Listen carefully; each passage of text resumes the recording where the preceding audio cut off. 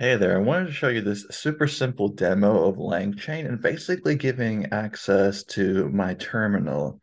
So in this example, it's just 15 lines of code, or less than 15 lines of code, and we're using LangChain, giving it access to the terminal, and basically telling it to interact with the computer and do stuff using natural language. So this is the command we're going to run. It says you have access to the terminal through the bash variable. Open the browser Go to YouTube and search for Lex Fridman. Then write the text contents from the page into a file called page.txt.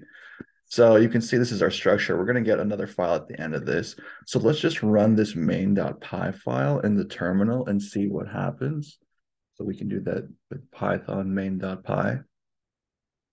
And it's working. Okay, it opened the browser to Lex Fridman and then it looks like it's done. So we can see what it did. It used the Python REPL to, op- to open the web browser, go to YouTube for Lex Fridman, search for Lex Fridman. Then it imported requests. It got the contents of the page and it wrote it to a file called page.text, page.txt. And then it came to a conclusion that the work was done. And so if we go to VS Code now, we can see that there is a file called page.txt and this has all the contents of the Lex Fridman page. And you can make sure that that's true by just typing in Lex Fridman. So this is just a super simple demo, but you can see there's a lot of potential applications you can build just by telling it stuff to do and giving it access to your computer. Yeah, hopefully that was helpful.